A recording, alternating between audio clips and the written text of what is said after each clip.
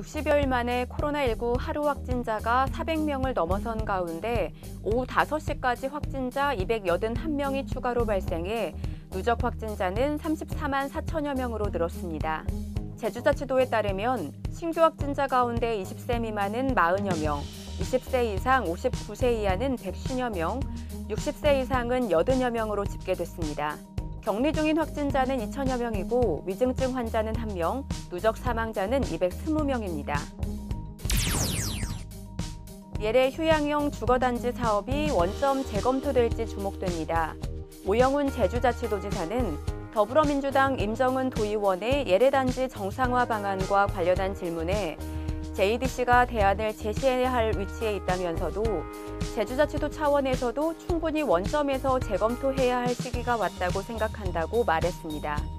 특히 유원지 해제와 도시계획시설 해제로 예래단지를 추진할 법적 요건이 없다며 공익성을 기반으로 한 사업으로 바꿔야 한다고 설명했습니다. 전동 킥보드를 비롯한 개인형 이동장치 교통사고가 증가한 것으로 나타났습니다. 제주자치경찰위원회에 따르면 올해 들어 지난달까지 발생한 개인형 이동장치 교통사고는 35건으로 지난해 27건보다 늘었습니다. 제주자치경찰위원회는 수능 이후 10대에서 20대 젊은 층의 개인형 이동장치 운전이 늘어날 것으로 보고 18일 제주시청 등에서 안전 캠페인을 실시하기로 했습니다. 내년 하반기부터 제주 지역에서 소방 차량은 모든 신호교차로에서 무정차 통과가 가능해집니다. 제주자치경찰단은 화재 등 재난 발생 시 소방 차량의 신속한 출동 체계를 구축하기 위해 내년 상반기까지 긴급 차량 우선 신호 시스템을 구축하기로 했습니다.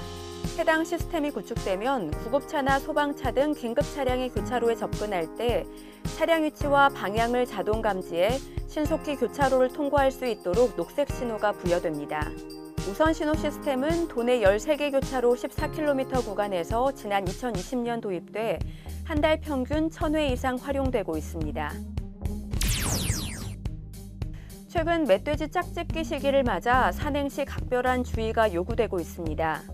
제주자치도는 야생 멧돼지를 만날 경우 갑작스런 행동이 시력이 좋지 않은 멧돼지를 자극할 수 있기 때문에 소리를 내지 말고 나무나 바위에 몸을 숨겨야 한다고 설명했습니다.